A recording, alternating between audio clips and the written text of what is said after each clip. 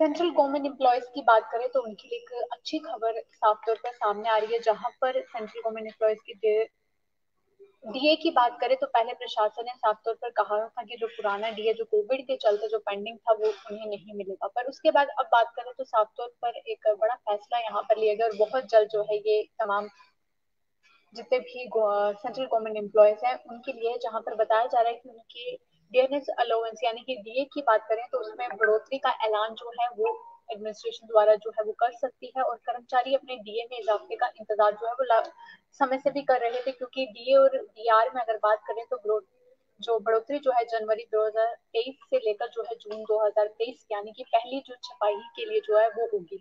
और सरकार ने कर्मचारियों को उनके जो है जनवरी फरवरी का एरिया जोड़कर जो है भुगतान कर सकती है। और फ़िलहाल यही साफ़ तौर पर सामने आ रहा है कि डी डीए में कितनी फ़ीसदी का इजाफा होगा। हालाँकि इस चीज़ को लेकर कोई भी आधिकारिक ऐलान जो है वो अभी तक नहीं किया गया है। पर आने वाले समय में जो है, जो अभी तक जानकारी आ रही है कि इसमें हो सकता है जो इजाफा जो है किया जाएगा। चार फ़ीसदी जो है वो हो सकता है। तो यानी कि अगर केंद्रीय कर्मचारियों की बात करें तो डीए जहाँ पहले थर्टी एट फ़ीसदी था, वो बढ़कर जो है फोर्टी टू हो सकता है। पर अभी तक इसको लेकर कोई भी अगर ऑफिशियल बात करें तो आधिकारिक तौर पर ऐलान नहीं हुआ है, पर सूत्रों के हवाले से जो अभी तक इसमें जानकारी सामने आ रही है कि चार परसेंट जो है फ़ीसदी जो है वो बढ़ोतरी कर्मचारियों के डीए में हो सकती है।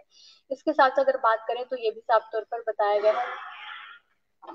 कि जितने भी सरकार हर जो छह महीने पर कर्मचारियों के डीए में जो इजाफा करती है, महँगाई भत्ता की बात करें तो सरकारी कर्मचारियों की सैलरी जो है, स्ट्रक्चर का हिस्सा जो है, वो साफ़ तौर पर होती है। और इसको लेकर लाखों कर्मचारियों को कहीं ना कहीं फ़ायदा इससे साफ़ तौर पर होगा। और उसके साथ साथ केंद्रीय कर्मचारियों और सिक्सटी थ्री लाख पेंशनर्स की बात करें तो उन्हें भी इसका फ़ायदा जो है वो साफ़ तौर पर होगा। और कितनी बात करें इसमें बताया गया है कि कितनी सैलरी जो है वो बढ़ सकती है, पर फ़िलहाल जिस तरह से चार परसेंट जो है इसमें साफ़ तौर पर कहा गया है कि चार फ़ीसदी जो है इजाफा जो है वो सरकार जो है साफ़ तौर पर कर सकती है, पर ये खबर जो है जितने भी सेंट्रल गवर्नमेंट एम्प्लॉयज़ हैं, उनके लिए एक इम्पोर्टेंट इन्फॉर्मेशन है। और पेंशनर्स की बात करें जो सरकार जल्द ही ये बड़ी खुशखबरी जो है इन तमाम लोगों को दे सकती है। कहा जा रहा है कि अगले सप्ताह तक सरकार केंद्रीय कर्मचारियों की महँगाई भत्ते की बात करें तो उसमें बढ़ोतरी का ऐलान जो है वो कर, कर सकती है और कर्मचारी अपने डीए में इजाफे का जो है लंबे समय से ऑलरेडी इंतज़ार कर रहे थे। तो हालाँकि कुछ वक्त और इंतज़ार करना होगा पर ये ज़रूर बात देखते सामने आ रही कि बहुत जल्द जो है